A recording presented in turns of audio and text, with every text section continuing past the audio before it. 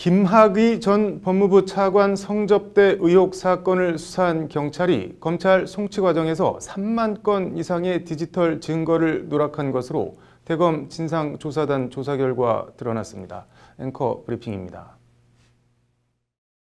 중국 춘추시대 제나라 위왕 시절 위왕이 총애하는 우희라는 후궁이 있었습니다. 당시 제나라는 간신 주파오가 조종의 실권을 잡고 전행을 일삼으며 나라를 좌지우지 망치고 있었습니다.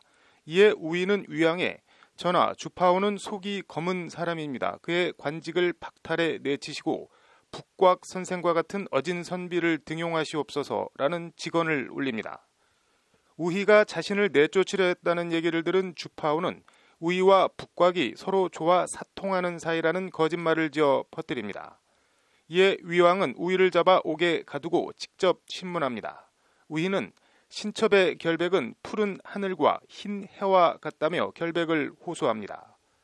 옛날에 유하해라는 사람이 겨울밤 추위에 언 여인을 자신의 침상에 들여 몸을 녹여주었지만 남녀 사이의 일을 의심하는 사람은 없었습니다. 그것은 평소 그의 행동이 단정했기 때문입니다. 신첩에게 죄가 있다면 오이밭에선 신발을 다시 신지 말고 오얏나무 아래선 갓을 고쳐 쓰지 말라는 옛말을 듣지 않고 의심을 산 죄뿐입니다. 라는 게 우희의 항변입니다. 여기서 나온 말이 오이나 오얏 열매를 훔쳐가는 것처럼 보일 수 있으니 오해받을 처시는 하지 말라는 과전 불람리 이하 부정관 성어입니다. 말도 많고 탈도 많은 김학의 법무차관 별장 성접대 의혹이 오늘 또 구설에 올랐습니다.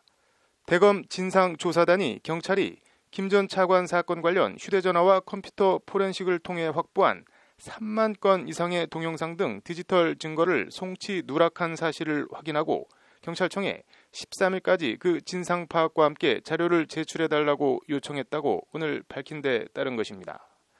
경찰 보고서 등에는 수만 건에 달하는 디지털 증거가 복원된 것으로 돼 있는데 정작 검찰 송치 기록에는 빠져 있다는 것이 조사단 설명입니다.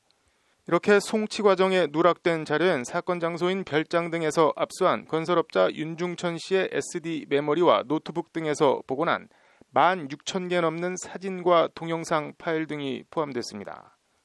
기록상 확보된 진술에 따르면 별장 성접대 관련 추가 동영상이 존재할 개연성이 충분한데도 경찰은 포렌식한 디지털 증거를 송치 누락하고 검찰은 이에 대한 추가 송치를 요구하지도 않은 채 두 차례 혐의 없음 처분한 것이라는 게 조사단 관계자의 말입니다.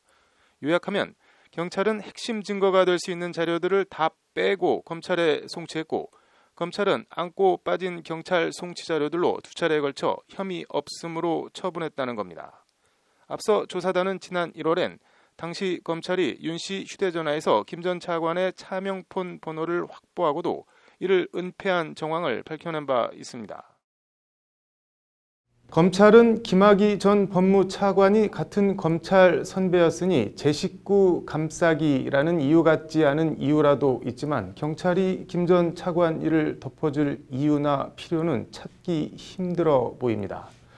상식적으로 납득이 안 가는 일이 벌어졌다면 상식적이지 않은 일을 벌어지게 했던 다른 힘이나 요인이 있었을 것입니다.